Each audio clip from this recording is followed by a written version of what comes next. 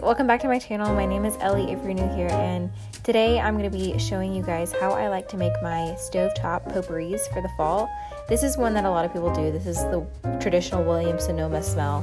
It's lemon, rosemary, and a splash of vanilla. I honestly just winged it with this. I don't ever do anything exact. It's just something to make your house smell really good without having to burn any candles. So I just did one lemon, a couple sprigs of rosemary that I picked up from Trader Joe's, and then a splash of vanilla extract. I didn't even measure, honestly. I just squirted a little bit in there and called it good. And then you are gonna fill the pot with some water. And you just wanna make sure everything in the pot is covered with water. I didn't really, you know, do anything specific. I just eyeballed it. And then you are going to stick this on your stove and let it simmer until you are, you know, I think until the water pretty much evaporates.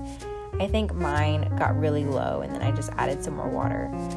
And it honestly smells so amazing and your house literally smells like Williams Sonoma.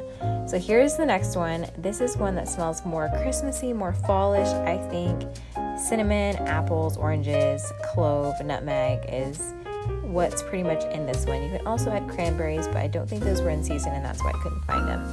And so I just cut up a whole orange and then I ended up cutting up an apple.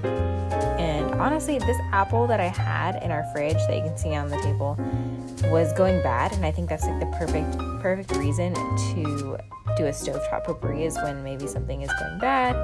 You can just use that up in a certain way and you don't really have to eat the bad apple.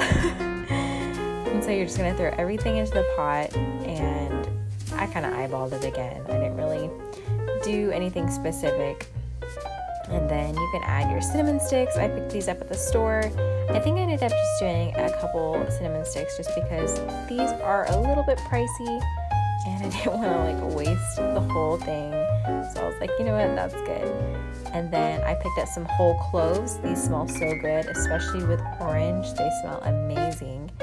And then the last spice you're going to use is nutmeg. And I just, I didn't have the actual nutmeg rocks, so I used just a nutmeg seasoning that I had and sprinkled that in. I feel like that did the job.